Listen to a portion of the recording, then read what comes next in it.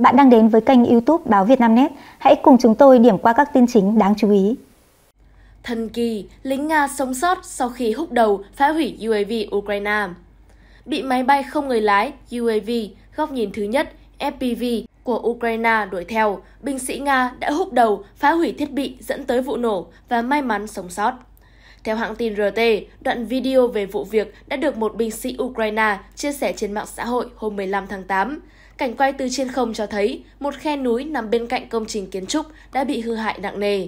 Một quân nhân đang nhanh chóng đi về phía lối ra khi một chiếc UAV-4 cỡ nhỏ xuất hiện gần đó.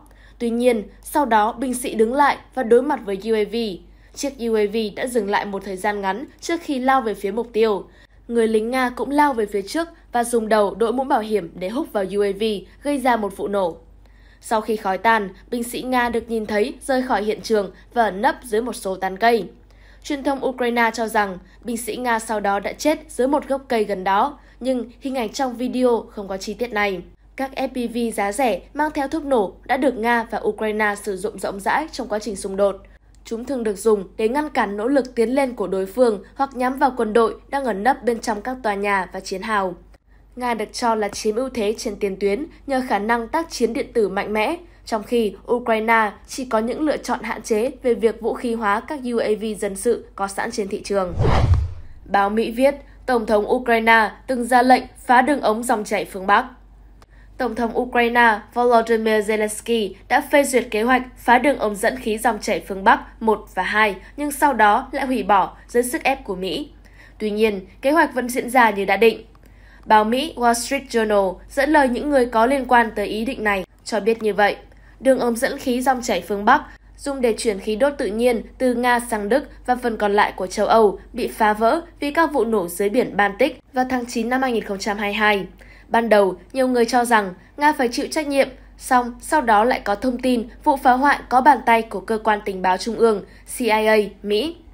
Năm đó, theo tờ The New York Times cho biết, các quan chức Mỹ đã nắm được thông tin tình báo cho rằng một nhóm ủng hộ Ukraine đứng sau vụ phá hoại.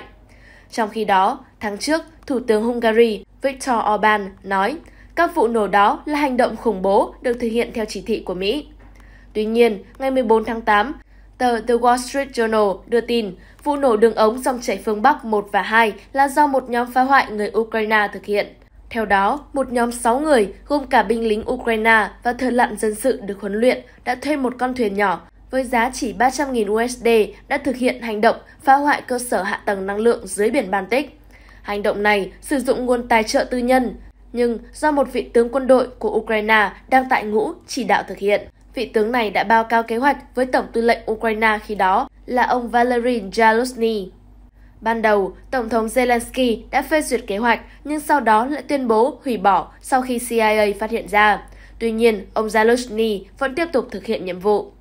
Ông Zaluzhny, hiện là đại sứ Ukraine tại Anh, nói với tờ Wall Street Journal rằng ông không biết gì về hoạt động trên và gọi những cáo buộc đó là khiêu khích. Ukraine vẫn luôn khẳng định không liên quan đến vụ nổ đường ống dẫn khí dòng chảy phương Bắc. Hôm qua, 15 tháng 8, ông Mikhailo Podolyak, phát ngôn viên của Tổng thống Zelensky, một lần nữa cáo buộc Nga thực hiện hành vi phá hoại.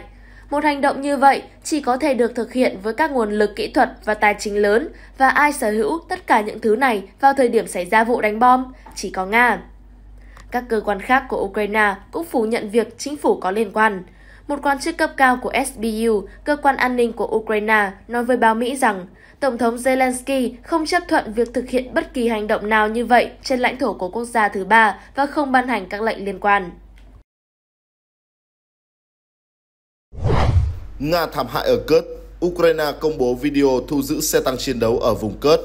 Các binh sĩ Ukraine vừa thu giữ thành công một xe tăng chiến đấu T-80 BVM của Nga ở gần thị trấn Sutha trong chiến dịch đột kích ở vùng Kurd.